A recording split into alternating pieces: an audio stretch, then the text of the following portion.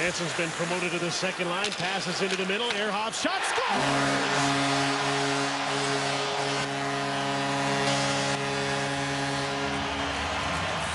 Ehrhoff took the shot, but it was Ryan Kesler who streaked to the front of the net, and Vancouver has a 3-1 lead.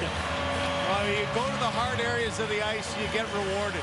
And this is a simple shot. The bouncing puck goes by Schenn, keeps it alive as Kaberle can't win the battle. Hansen does, but look at the positioning in front by Kesler and right through a screen again. Glenn talked before about Luke Schenn trying to block the shot. He wasn't able to there. Gustavsson's back deep in his net and great positioning by Kesler. Vancouver, a great change off the bench. They changed their defense pair, and there's no chance for Gustavsson to see that puck.